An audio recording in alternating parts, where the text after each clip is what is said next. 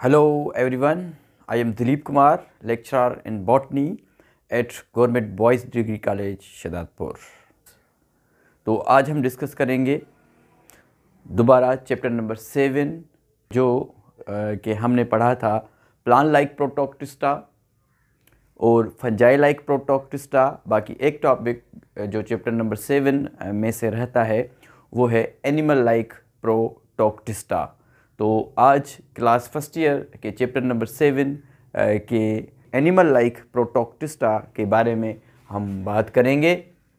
Animal like Protoctista में जो group आता है उसको कहते हैं प्रोटोजोआ प्रो हम कहते हैं फ़र्स्ट और जोआ मीन्स एनिमल ये पहले जो जानदार थे, जो कि यूनिसेलुलर जानदार थे, जो कि एनिमल की तरह ही थे।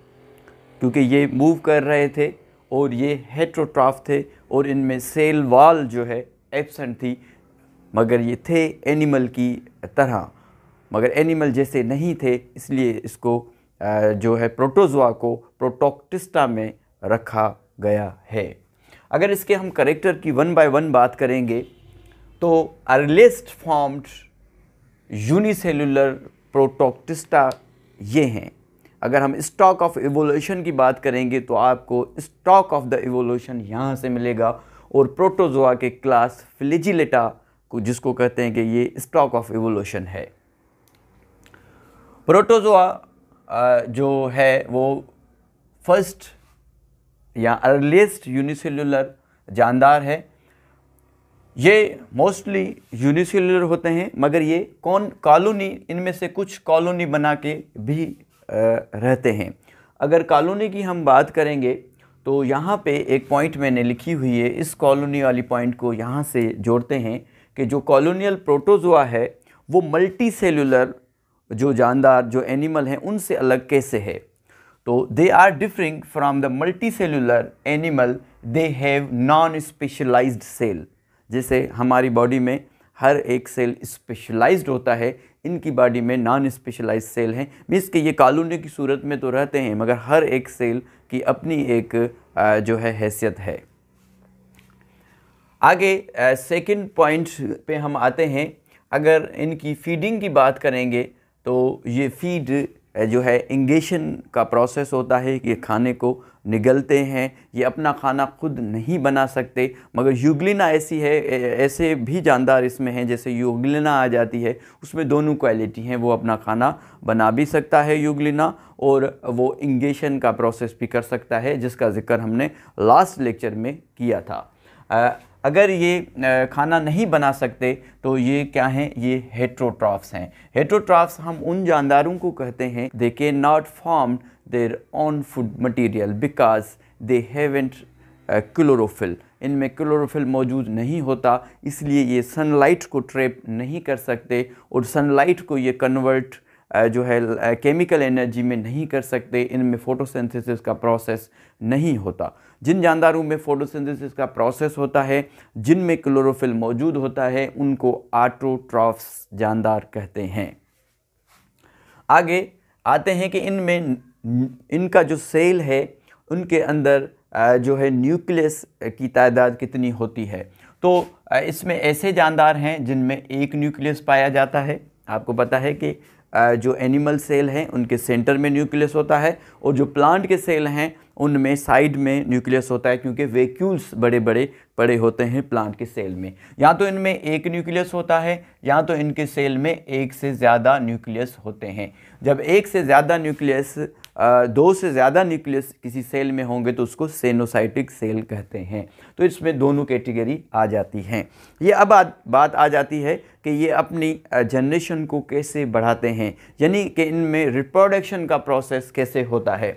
अगर रिप्रोडक्शन के प्रोसेस की हम बात करेंगे तो reproduction means re means again again and again produce new young one. ये आ, अपने न्यू यंग वन को कैसे आ, बनाते हैं इनमें जो रिप्रोडक्शन का प्रोसेस है वो कैसे होता है? तो सिंपली इनमें सेल डिवीज़न का प्रोसेस होता है सिंपली सेल डिवाइड हो जाता है। जैसे कि हम अगर बात करें एमेबा की तो एमेबा डायरेक्ट डिवाइड होगा और इससे दो एमेबा बन जाएँगे। तो इसमें एक तो सिंपल डिवीज़न होती है सिंपली डिवाइड हो जाते हैं। या तो इनमें सेक्सुअल मेटिंग होती है। इनमें जो है जेनेटिक मटेरियल ट्रांसफ़र होता है। और और काफ़ी ऐसे जानदार हैं जिसमें कॉन्जुगेशन का प्रोसेस भी देखा नोट किया गया है। आगे अगर हम इसकी हैबिटाट की बात करेंगे कि ये कहाँ पे मिलते हैं, इस दुनिया में ये कहाँ पे मौजूद हैं, इनका इन्वायरमेंट क्या है, ये कहाँ पे रहते हैं।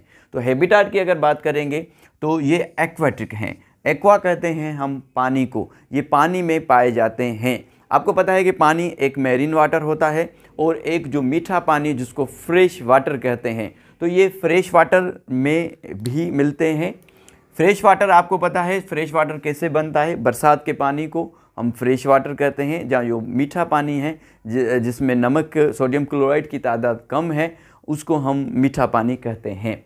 और दूसरा मेरीन वाटर यानी कि समंदर का पानी कड़वा पानी, नमकीन पानी, वहाँ भी ये जानदार प्रोटोजुआ पाए जाते हैं।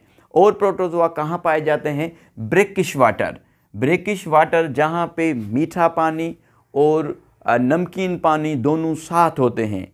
तो इसको ब्रेकिश वाटर कहते हैं और जिस जगह पे ब्रेकिश वाटर पाया जाता है उसको यूस्ट्राइन कहते हैं या ईस्ट्राइन आप कह लें तो वो जगह होगी ईस्ट्राइन तो ये ईस्ट्राइन में भी मिलते हैं, यानी कि ब्रेकिश वाटर फ्रेश वाटर में भी मिलते हैं और ये मेरीन वाटर में भी पाए जाते हैं।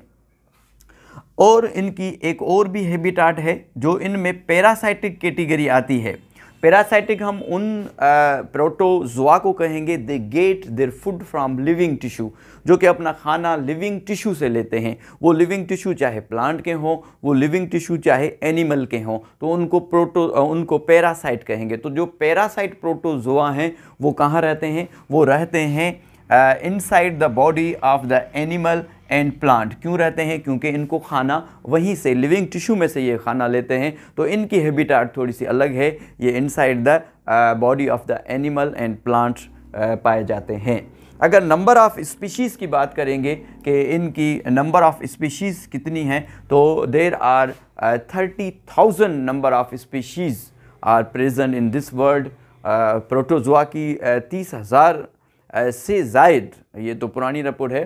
जायद प्रोटोजोआ के जानदार इस दुनिया में मौजूद हैं।